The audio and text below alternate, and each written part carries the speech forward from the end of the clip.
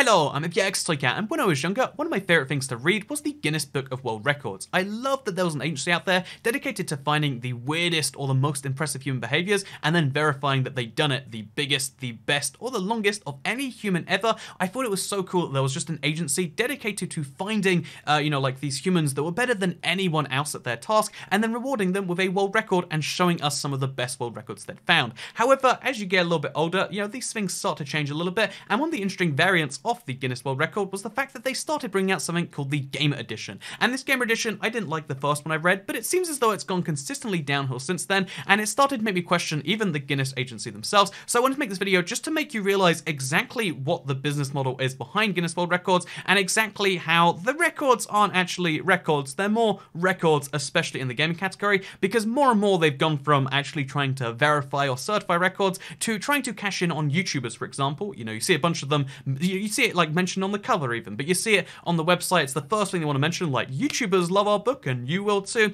But when you actually dive into some of the records, you start to see really ridiculous stuff, such as one of the records is tallest staircase built in Minecraft uh, console in one minute. So it's like, okay, that seems like it could be an interesting record, but let me show you this. This was the thing that immediately made me realize something was up. So here is the video. They uploaded this, they haven't removed this, to their YouTube channel.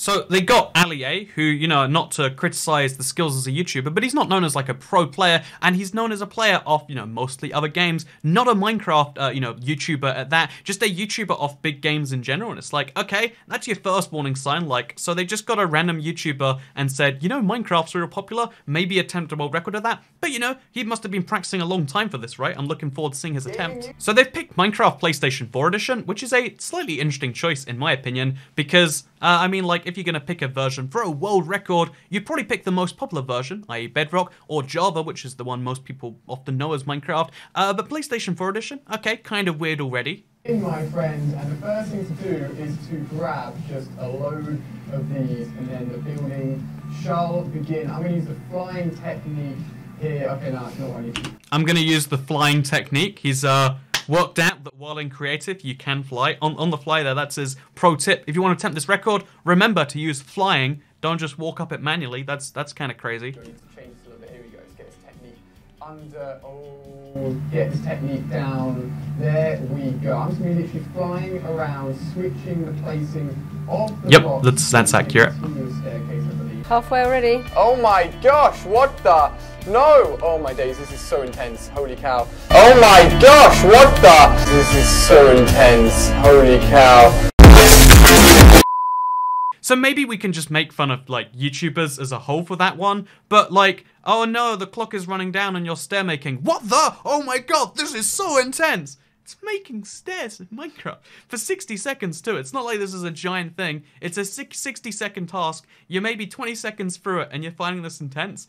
Kind of concerning, but you know, you know, like a lot of gaming YouTubers like to be loud and abrasive, so we won't hold it against the record because that's going to be great, right? Besides the fact that there were a lot of like deletes and places there, that didn't look like a particularly impressive run, but I mean, we'll see the score, right? I can now confirm, Ali, that that was indeed a valid attempt. There's just one last thing we need you to do before we can reveal the actual result. We need you to walk from the bottom of the staircase to the top and back down again, just to confirm that the staircase is complete. Make sure this is a legitimate staircase and we're good. Perfect, fantastic. So, I can now reveal that the height of the staircase when measured in blocks is 17. Not bad. There was a minimum for this record, and that minimum was 10. Yes! Congratulations. There was a minimum for the record, and it was 10 staircases placed in a minute. 17 is, is the record here. And you might be like, okay, well, I mean, that's that's that's pretty good, I'm sure. Like, uh, you know, for some people that's impressive. But, like, for a world record, 17 uh, is the standard we're setting, with 10 being the minimum. Imagine if 10 was the record. That would be one every six seconds. You could do that significantly faster in survival, even if you had to get the wood in the attempt. And it's like, oh, okay, sure. I guess that's just how it is. So the record apparently still stands to this day. 17 blocks high is the record, although it's matched by someone else, apparently. Someone got the exact same record, so as it turns out, uh, you know, famous YouTuber still gets to be record holder, and I'm not the only one who dislikes this. I don't want to just make fun of, like, you know, I'm sure he was offered some money and opportunity to, you know, be like, oh yeah, show up in a promotional video. He thought he was doing quite well, but as you can see, the majority of people who saw this, not like, it's just not, not me, my keen Minecraft eye, everyone who sees this is like, what did we just watch? What was that? What was that? This is so intense, 17 stairs in a minute record. And if you read some of the comments, you can see like, this is stupid. If you want to make real Minecraft challenges, talk to people who know the game.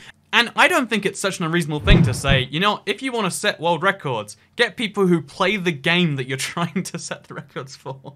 like, maybe maybe I'm crazy on that one. This is like one of the most incompetent things I've ever seen. All you gotta do is like, even if you got a Minecraft YouTuber, it'd be better than that, right? Uh, but you know, ideally bring in a pro Minecraft player, someone who is really good at the precision movements, as opposed to someone who maybe hasn't played Minecraft in a very long time or ever played it on console, is what's, uh, what seemed to be there. So, there's a lot of people who had the exact same thing. Is this a joke? Dumbest video, easiest thing to do in Minecraft. Is it a joke? Every I got 20, I got 37 on the, uh, on the first attempt. So many people immediately destroyed this, but yet, if you look at the record, 22nd of November 2015 is when the record was set, and it's never been beaten. So already, this this this immediately lowered my faith in you know the idea of a Guinness World Record. And so it's not only bad, for, in my opinion, that they put out the video saying this is the tallest staircase built in a minute, even though it's clearly people who must have done better than that by accident or just while building. So it's not actually a world record. It's absurd that they passed it off as a world record, and it's absurd that despite all of the people who have you know said something to them like you know I've done better than this, you know here's a video of me doing better than this, they haven't gone out and sought the uh, you know the answer to that. Instead, they want people to come to them. They're like, oh, if you think you can beat this, why not try and apply to beat it? Why not try and be the person with the tallest staircase in a minute? And then you're like, so I mean, surely someone must have applied. And yes, actually, multiple people have applied.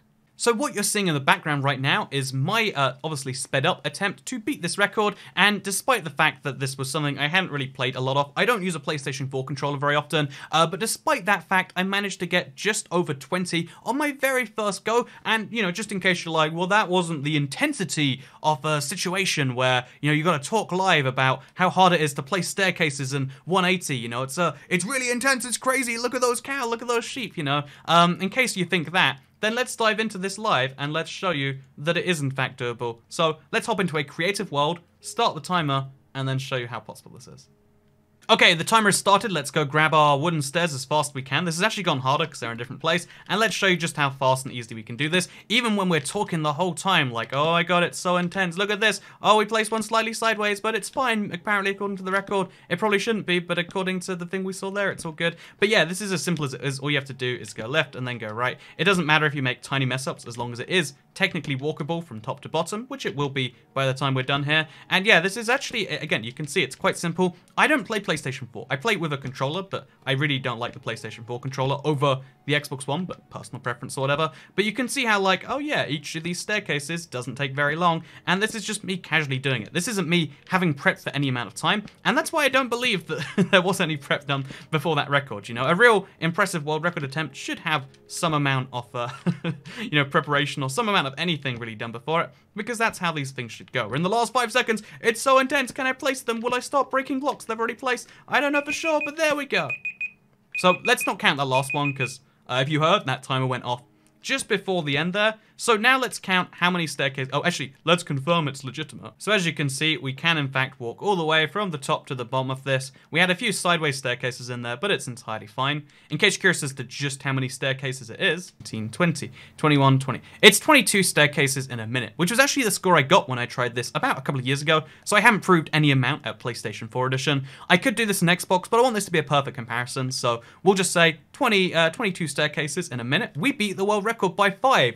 Wow, that's amazing, right? I'm gonna get a world record because I just did this live video. There's proof. Uh, you know, I've done it twice now. I've done it multiple times. Got lots of different forms of evidence. I have a capture card. I'm one of the lucky few who actually can record my gameplay. So let's send it off to Guinness. Was what I assumed a couple of years ago. So on the Guinness website, they do actually have a place where you can apply to set or break records so that, you know, they can have people come into them. They don't go out and verify most of these things unless there's like a big company contract. If you have a record you think you've broken, you have to go to them so they can verify that you did. That makes sense in my opinion. Sure, why not? And uh, how long do they take to do that? Well, apparently, according to this, uh, roughly 12 weeks. So yeah, I thought the fact that they basically have free options and the one where it doesn't cost you money is all the way there in the corner like, okay, use the pleb option when you time is not pressing but you have a talent you want to share eventually. Seems a bit of a weird thing to do, but you know, I guess there's lots of corporations that want to do little contracts and have like a person come over. That that would cost some real money, right? So fine. Uh, you know, spend the time, make the thing happen. I sent off an application in December of 2017.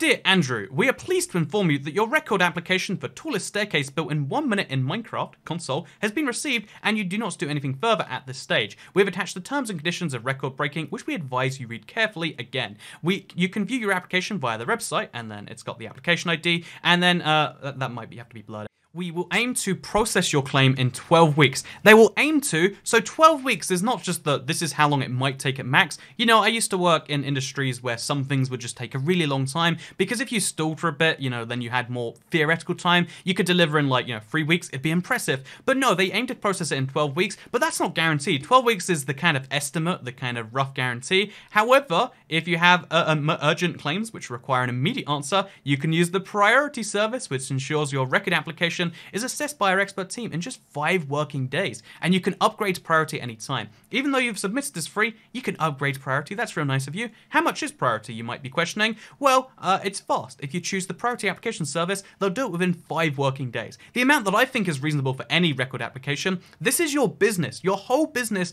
is based around checking these world records for the purposes of making those books, right? So surely surely this is the like this should be your priority as a business but no uh, their priority is 12 weeks like do whatever you want there unless you pay us some money in which case it'll take you 12 weeks. Apparently it's also assisted and you can ask questions about your application through the correspondence function and you actually get uh, answers or updates within two working days as opposed to two weeks for normal people. You have the tiniest question two weeks unless you buy this service because oh has it not been mentioned? It has a price attached. It's 500 pounds or 800 us dollars or 630 euros. That is crazy high. Just to check your stuff in five days, just to speed up the admin time on that, it's going to cost you $800 US, unless it's a new record, in which case it's $1,000. Luckily for us, we're going for an existing one. We get that really cheap 800 US dollar price, and you might be like, my god, that's absurdly steep. Like, if you want to actually get your record reviewed, it's going to cost you 800 US. Because, do you know what happened with mine? So the 4th of December 2017 was when they sent, uh, you know, their email to me, confirming the application had been received, and in about 12 weeks I could actually confirm it, send my details, but we never got to that stage because you know what happened? It, they never got around to it. You know, 12 weeks is just the kind of estimated time. So what instead happened? So it took 13 and a half months for a response, but what I got was application reference, then a number, uh, Dear Andrew, your application for tallest staircase built in one minute in Minecraft console has expired, and we can reactivate, send it off again, uh, but obviously it's going to have that same 12 week waiting period. I looked into that, and it's like, oh, so that that's pretty crazy. Basically, they're saying, well, I mean, you, you should have paid. I mean, if you want to be famous, I, I think I mentioned somewhere something about the YouTube channel. If you're going to mention that, then really, I think that means that you'd be a great fit for the priority application service. So, you know, let's whip together $800. It's a lot, but it might be worth it. Except no, 800 US dollars just gets you to the second phase where there's evidence review, which is going to take 12 weeks by default, unless you pray for priority, where it takes 5 working days as opposed to the usual 12 weeks. Uh, and yeah, this costs an extra 650 US dollars. So yeah, basically, uh, all in, we're talking 1450 US dollars just to get this, uh, you know, thing reviewed. And that is the reason why, in case you're curious, like, so, isn't it kind of weird that in all this time, no one has beaten this record? As it turns out, pretty much no one can get to the phase where they'll accept the record, um, because they just deny applications for it. And, uh, you know, maybe that would be different if we paid. Maybe it wouldn't be the same. Maybe if we paid the money, it would be taken away. But is that any better? I'm not too sure. It's absurd to me that the average waiting time for a world record is six, uh, you know, months, you know, 12 weeks plus 12 weeks. That's three months each time, plus any delays that might happen because of seasonal variances. That doesn't seem to me like a, you know, a body that is designed to be checking world records should be all about. And to be honest, it's not really their whole job. You might think, oh yeah, Guinness World Records. Their whole thing is about Guinness World Records. No, you can even see like on their main webpage, records is one of their options, but business solutions is another big one. What they often do is they'll partner with businesses to make world records, as in they'll just try and do something which hasn't been done before, call it a world record,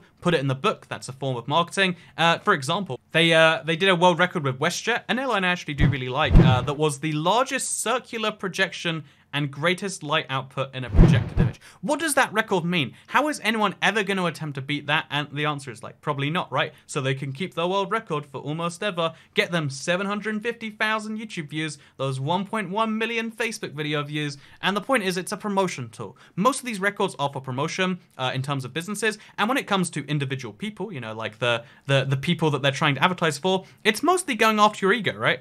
Because the service, which costs 1450 US dollars all in all, once you do both priority uh, systems, uh, will actually be self-serve. There's no person that comes out to check it. There's none of that. You verify all of that yourself, and they'll just say, "Oh yeah, this is the best." And yeah, that's that's how they make their money. They make their money from doing these managed services for brands, basically doing corporate deals with the the, the reputation they have for being a world records agency. Uh, they use the same thing to feed your ego, pay a lot of money, and be the best at something in the world. Uh, you know, I'll give you a you know a certificate for something, but it doesn't mean as much because you assume Guinness World Record means a bunch. And then there's standard applications. The actually applying for records thing isn't their main concern. Like, why would they care? Why would they need to? What is the point in verifying all these individual records for tallest staircase ever when instead they can have one that promotes those other services? Which is why you see a bunch of really absurd records. I, I should have mentioned, but there's there's a bunch of ones here like most views for a dedicated Minecraft video channel. I mean, but it's not a dedicated Minecraft video channel, right? Like maybe at some point, the 19th of January 2018, but even then, I don't think the channel was dedicated purely to Minecraft. So you mean majorly Minecraft? Well, now it's definitely not that. And I think, like, the point is, is like, okay, so you give someone, uh, you know, a record because they've got 11 billion views, like, good on him, but what is this record? What does it mean? How could you ever beat this? Like,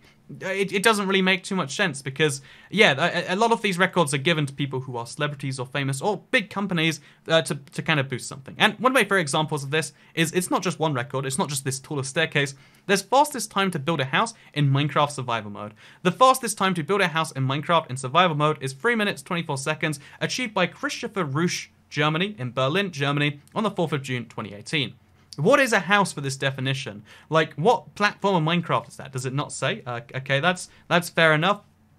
And it's just like, oh, okay. So, world records really at this point mean you did a thing and we can't prove that anyone else did it faster. Except even then, it's not we can't prove it. It's that no one else is knocking on our doors to prove it or paying us money to prove it, and therefore it's a world record. I honestly came to realize during the course of researching this video that Guinness World Records and most world records agencies, they don't exist because they want to catalog the best in human behavior. It's not like these various leaderboards and these various speedrunning sites, which are, you know, really built and purist for their game. Instead, it exists as a, hey, do you have money? Would you like to be the best at something? We can facilitate that. So yeah, maybe this is just one of those things where as you get older, you realize how the world really was. Uh, you know, like you like to believe that everything's so perfect and well put together, but the truth is, lots of things need to exist for businesses, and a lot of people have had their egos hugely boosted by this service, and I think that's fine. I think that's even great. Some people that might really help them, but uh, as someone who loves seeing the best that humans can do, uh, that is not what you're going to find from the Guinness World Records. And if you want to see great Minecraft records, for instance, what I would recommend checking out instead is a website like speedrun.com. This is a community dedicated to speedrunning, doing the fastest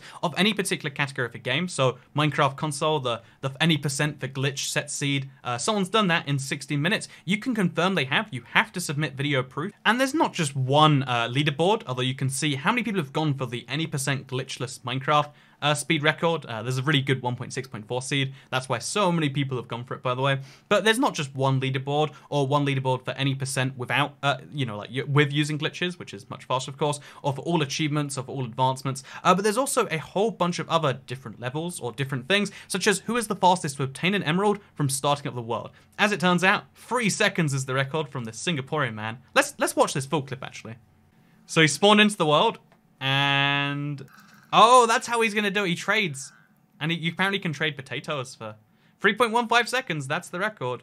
But like, I think this is a real like, dead, you know, there's no, oh, we're gonna take money for the good services. There's no, oh yeah, YouTubers get to do their own specific boards because you know, here's here's the truth. If you know, as a YouTuber, as someone who is in the category, it would be nice if uh, you know Guinness came off me and said, hey, we'd like to feed your ego and uh, you know promote your channel. You promote us a little bit, uh, like they've done with so many others. But the reason I don't think that I would enjoy that but I don't think that's actually benefiting, you know, the gaming world at large. I don't think that's moving, you know, the game forward in case of Minecraft or in the case of the gaming world as a whole. But what I do think is cool is when there's this, you know, no BS, no priority, no, uh, you know, business solution service that's just like, hey, what we can do for you is if you prove that you have done this, if you prove you've done this without cheats, if you verify this, that, and that, then we'll have a leaderboard where people can compete for the very fastest. There's speedruns for all sorts of games, and I've been wondering for a while now, should I go for an actual world record on an actual site like this, as opposed to the Guinness one? Because again, at first this video was going to be, here's my Guinness World Record uh, that I totally went and got. I thought it'd be an actual way to show you how to get them, but what it turned into is, oh,